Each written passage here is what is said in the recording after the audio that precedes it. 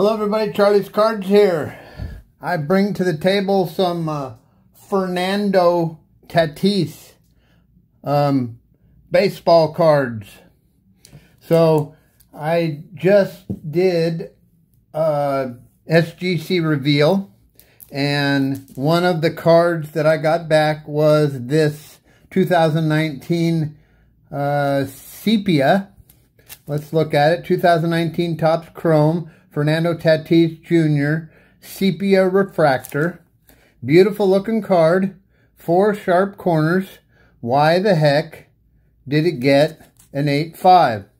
So tonight I wanted to uh, uh, talk about uh, going the next step now. Now that we know that SGC has made it clear that centering is uh, I don't know, maybe 50% of the grade, 60% of the grade um, that they're going about here.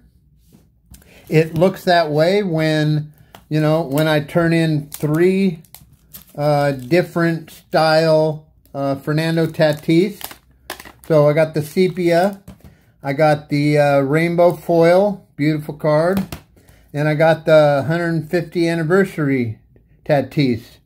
And PSA 10, they would be worth a whole bunch of money. Nine, nine is uh, Gem, Gem Mint. So, I'm sorry, just Mint. MT, Mint. Uh, nine and a half is Gem Mint And, or Mint Plus, I apologize. Nine and a half, Mint Plus, and then 10 is Gem Mint. And then there's the Pristine. So, what is going on here? So just to point out this, I want you to look at the centering of this card. Look at his glove, how it lines up along the edge. Okay? So you look at this border and this border. They're the same. Okay? So this card um, is a good example. This card is a better example. It's already been graded by SGC and it's been graded gem mint. So uh, you can tell on the sepia that his glove is off of the card. Can you see that? Whereas you look at this one and the glove is at the very edge of the card this happens to be a prism, and then both borders are the same. So when you look at this one, this border is a lot smaller than this one, and that's probably why I got the uh, 8.5.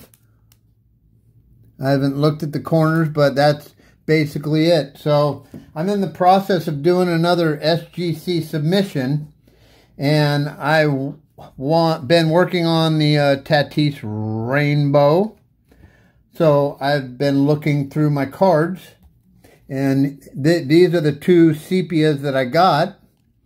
And I'm not going to take them out of the case and hopefully we can do justice by looking through the uh, the cases here um, because I have cleaned them all up.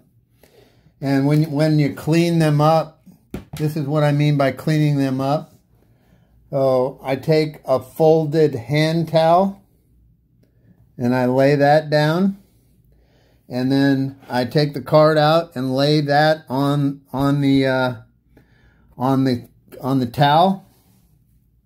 And I found this very very soft uh, microfiber towel. So it's it's a very fine microfiber towel. It's not for automotive or anything. It's it's actually for jewelry.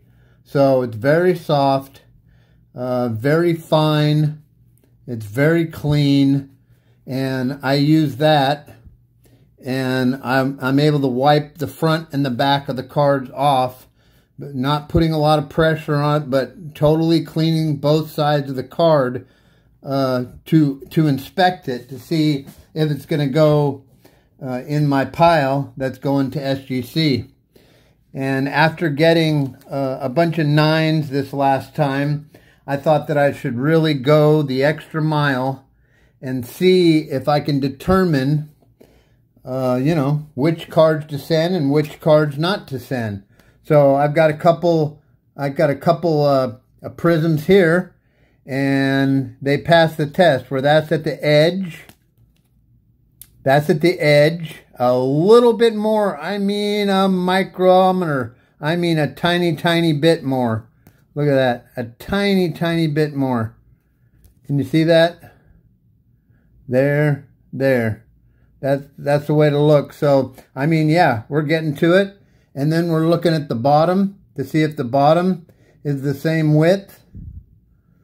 So, I've got a really good light underneath it. It looks like this one.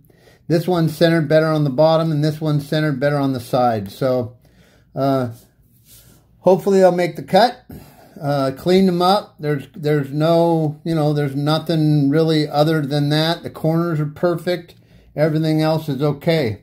So um, this next one is the uh, 410. So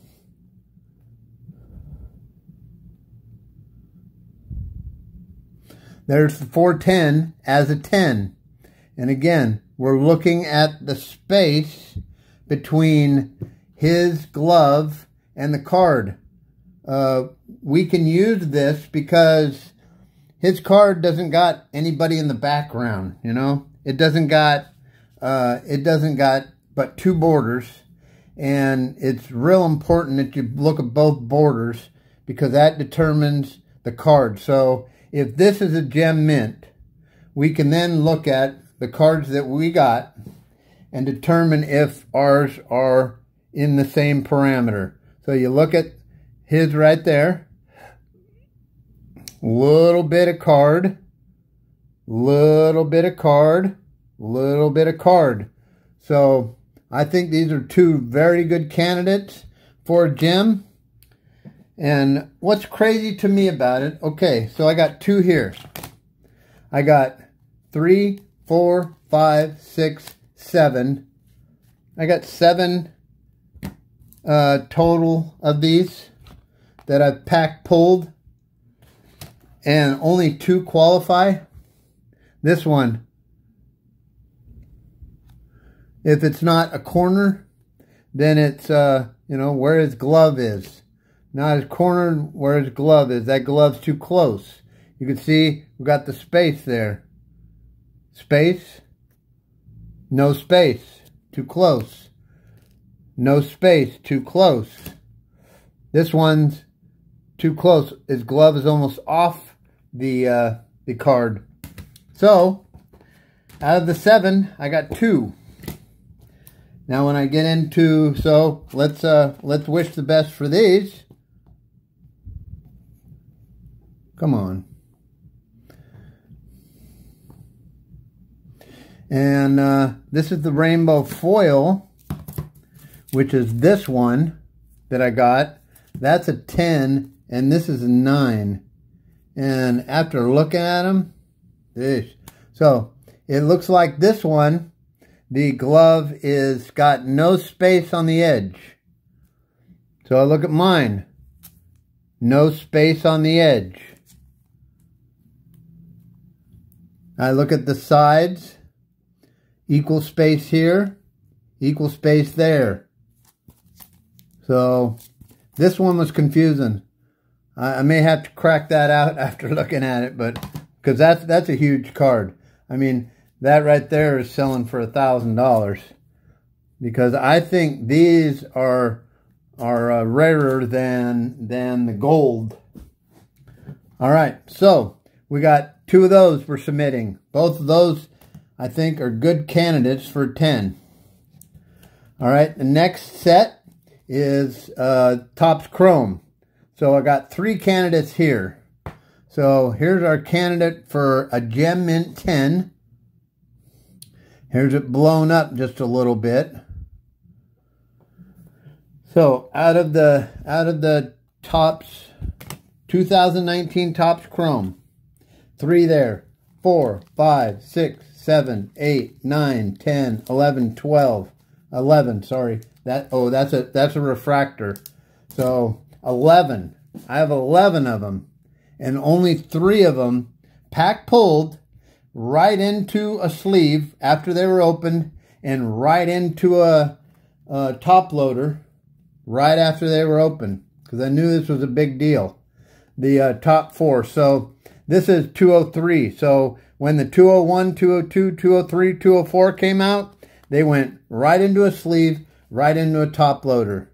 And to think that that many cards top sent out that don't don't qualify for Gem Mint 10, that to me is wow.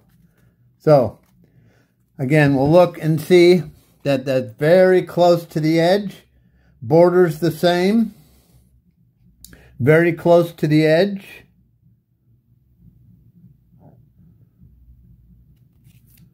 Very close to the edge. And very close to the edge. This one, very close to the edge. So we're looking at corners, we're looking at centering. Now we got to look at the bottom. We got to determine if the bottoms are the same as the sides. And out of it, I got three. I got one with just a little surface scratch on it, so I'm submitting that one with it because it's it's one of the best ones that I got. But to think that all these, eh, there's no space. The glove on this one, the glove is the glove is off the card. Okay? The glove is off the card. The glove is off the card. Look at this one. Same thing. Glove, no space, right at the edge of the card. This one, too much space. Look how much space is there. There's not that much space on this one. Not that much space. This is too too much space. This one is good, but the bottom, the bottom. So, went through all these, cleaned them up, looked at each one, decided that I had three that qualify for uh, Gem Mint. Now, fortunately, I have one of these.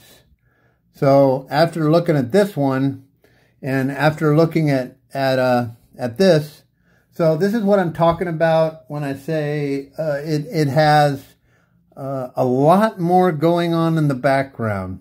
You can pick out some of these little spots. See that? Oh, sorry. Let me move it up just a little bit. See that little freckle? Sorry. That little freckle. See it? Right there? Look in the corner. See where they are?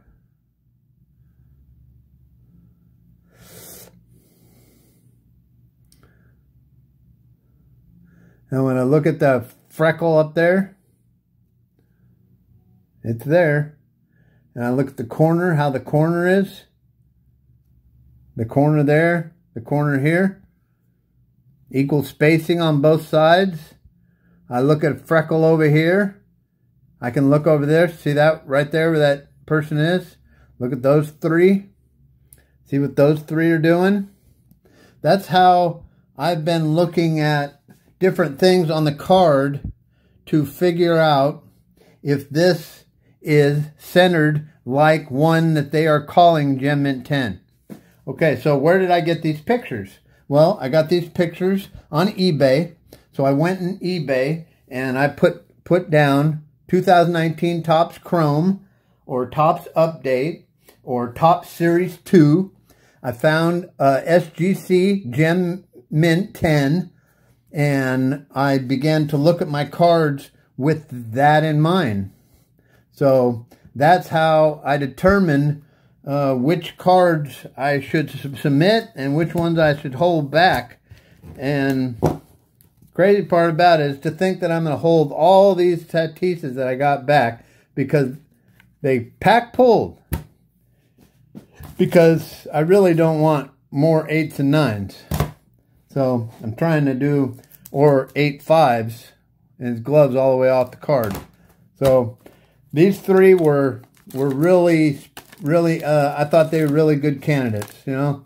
but after looking at it now, after looking at all the evidence, you know now that that's basically what's going on. They're off center.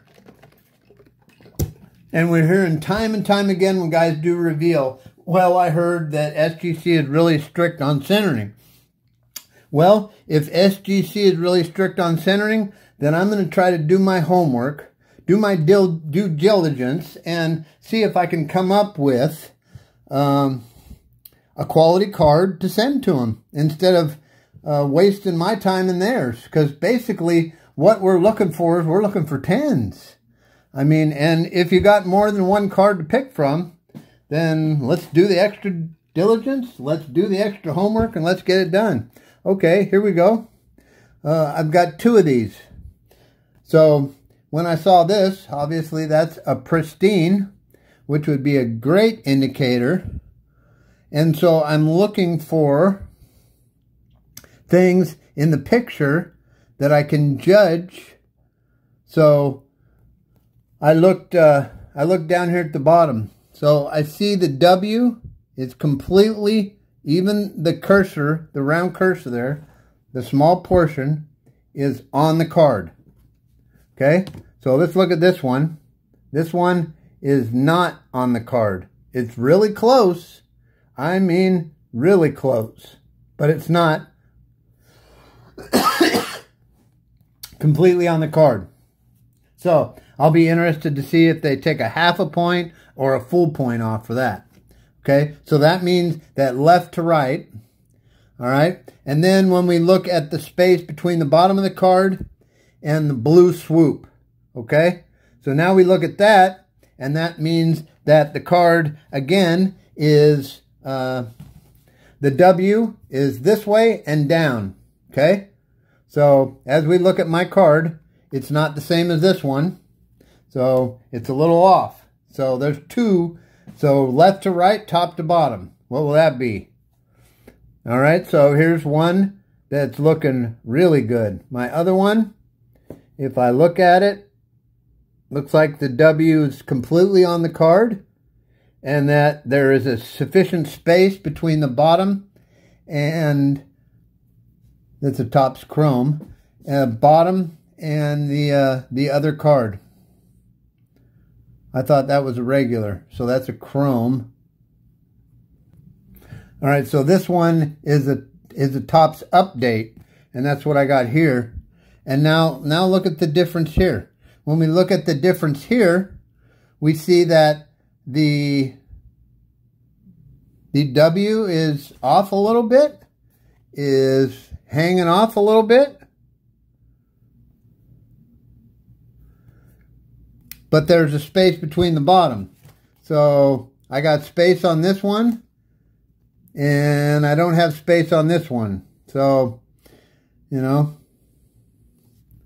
but this is a good way to look and see if these are centered. I know that I'm going to probably submit both of those just because, you know, I'm working on the Tatis. If, if, you know, if you can get the, I've got a lot more to pick from, so I'm able to do that where all these here are all singles too. So I've got a, a artist proof from gallery I'm going to submit. That's uh, that's pretty nice. I don't necessarily like the picture. looks like he's about 70. And he looks like he's upset. It doesn't look like the happy Juan Soto that we all know. And then I've got the uh, wood grain.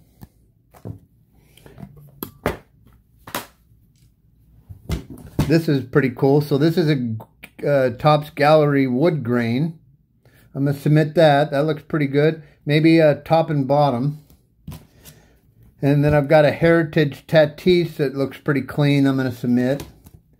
And then in preparation for my Oakland A's to uh, whoop on the Tampa Bay Rays and go into the World Series, I got to submit some uh, Matt Olson. So I got a Matt Olson rookie from Series 2. I got a Matt Olson uh, Topps Chrome from 2017. And I got a Matt Chapman uh, from Update uh, 2017. So I'm going to submit all those. So this is basically kind of what I'm looking at. I'm looking to do a little bit extra work to see if I can resolve this problem of, you know, is it centered? Is it not? Is it hanging off the card? What is it doing? And when you have a stack, you know, a stack of, of Tatis to go through, you can do things like be a little bit more selective. So I was able to do that. So hopefully I'll be getting those out in the next couple of days. And in the process, I don't know if you saw my video last night, but I opened a box of 1989 Donruss. And I pulled this out of it, out of the box. I've only opened half, and I'll probably open the other half uh, sometime this week. And I was pretty excited about it because, I mean, it's a good looking card. Right, left, top, bottom. I was like, wow, hallelujah. You know, that's a, that's a good looking Griffey. Not that there's already 45,000 of them graded. But what I thought was interesting is I started really looking at it. And look at the stains all over it. Look at look at the stains on it. I mean, it's perfectly centered. How could there be stains on it? Stain right there. Stain right here. Right there. I was like, what the heck? So, I don't know if you guys noticed it. I noticed it late in the video. I was a little upset about it. I was going to submit this one.